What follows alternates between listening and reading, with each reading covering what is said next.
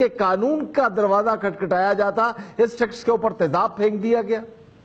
یہ تو ایک سیلف کریٹڈ جو آپ کو پتا ہے سٹوریز ہوتی ہیں جی کہ ہمارے گھر میں یہ ہو گیا ہے لیکن تو لیکن وجہ پھر بھی ہم۔ عوام کو سمجھا دیں تو جی، بہتر جی، ہے کہ۔ جادو ٹونا جی، غیر قانونی ہے جی بالکل ایک تو پہلی بات یہ کہ جتنا یہ عامل اور یہ باکر باکر اور یہ جو سارے اس طرح کے نام لے کے بیٹھے ہوتے ہیں ہاتھ بنا کے پنجوں کا یہ سب غیر قانونی دکانیں ہیں اور اس کے اوپر سپریم کورٹ نے بھی ایکشن کیا ہے قانون کے مطابق بھی یہ لوگوں کو گمراہ کرنے کا ایک سمجھے کہ یہ اپنے آپ کو ایک ولی اللہ یا اس طرح کی اپنے آپ کو پیش کرتے ہیں بنا کے جو ایک جال سازی کے زمرے میں آتا ہے اگر اس طرح کی کوئی بھی چیز ہو تو آپ اس کو تھانے میں اپلیکیشن دے کے اس کے خلاف کاروی کروا سکتے ہیں۔ قانون پرہپٹ کرتا ہے اگر آپ نے آپ کو آپ کسی دوسرے سے ریزمبلنس شو کر کے اور اس طرح لوگوں کو ڈیفیٹ ان کو چیٹ کریں یا ان سے پیسہ لیں تو بالکل جادو ٹوڑنے کی کوئی قانونی میں سمجھتا ہوں کہ حیثیت نہ اسلامی پوائنٹ ہے، وہ اس طرح کی ہے کہ سڑکوں میں بیٹھ کے اس کا توڑ ہو رہا ہے۔ اور پہلی بات یہ کہ جادو ٹوڑنے کا ایک ہی حل ہے۔ ماں باپ کی خدمت کریں اور نماز پڑھیں اور اللہ تعالیٰ کا قرآن پاک جو اس کو صبح و شام پڑھیں۔ کوئی جادو ٹونا نہیں ہو سکتا۔ میں سمجھتا ہوں کہ یہ بالکل مفروضوں پہ مبنی باتیں ہیں۔ اور یہ جو عامل بیٹھے ہوئے ہیں سڑکوں پہ اور جو دکانوں کے اوپر جو پنجوں کا نشان لگا کے اور اب تو ویسے کافی حد تک کم ہو جی اس کو بالکل ان کا ان کا تدارک ہونا چاہیے۔ یہ گورنمنٹ کی ڈیوٹی ہے یہ اسٹیٹ کی ذمہ داری ہے کہ اسٹیٹ اس کے اوپر ایکشن لے اور ان لوگوں کو ہٹائے وہاں سے۔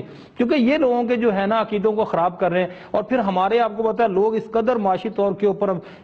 اخلاقی طور کے اوپر پسے ہوئے ہیں اس وقت ذلیل و خوار ہوئے ہوئے ہیں کہ جہاں سے ان کو ریلیف ملنے کو جہاں سے بھی سمجھنے کا حالانکہ پتہ ہے فراڈ ہونے لگا۔ پھر بھی وہاں جا کے اپنا سارا کچھ تو اور اب اس طرح ٹکا اس لیتے ہیں۔ شخص کے جس کے اوپر تیزاب پھینکا گیا ہے اس کے کیا قانونی رائٹس ہیں اس حوالے سے جی یہ بالکل ہے ایک بڑا ایک بڑا ہینیس offense ہے اور اس کو بالکل قانون نے اس کے اوپر بڑی کلیئر ڈیفینیشن دی ہوئی ہے پی پی سی میں 336 میں یہ ڈیفائنڈ ہے اور اس کے اوپر سزا بھی جو ہے وہ life imprisonment as per P P C ہے لیکن on the ادر ہینڈ یہ شیڈیول offense ہے یہ اینٹی ٹیررزم کوڈ کے اندر ٹرائبل ہے اور اس کے اوپر اینٹی ٹیررزم ایکٹ لاگو ہوتا ہے اور اس کی وہاں پہ بھی سزا جو ہے ٹو دی ایکسٹینٹ آف جس طرح کی نیچر آف offense ہے اس کے مطابق بڑی اس کی ہینس جو ہے وہ offense سمجھا جاتا ہے اس کے اوپر بڑی کیپٹل پنشمنٹ ہے as per P P C اور اینٹی ٹیررزم لا کے تحت یہ شیڈیولڈ offense ہے اور اس کو ٹرائبل جو tribal by the anti terrorism code ہے اور اس کا ایک پرٹیکولر قوانین ہماری کتابوں کے اندر موجود جی۔ ہیں لیکن کیا ہی بہتر ہو کہ ان قوانین کے اوپر عمل درآمد بھی ہو ان کی اصل روح کے مطابق اگر تیزاب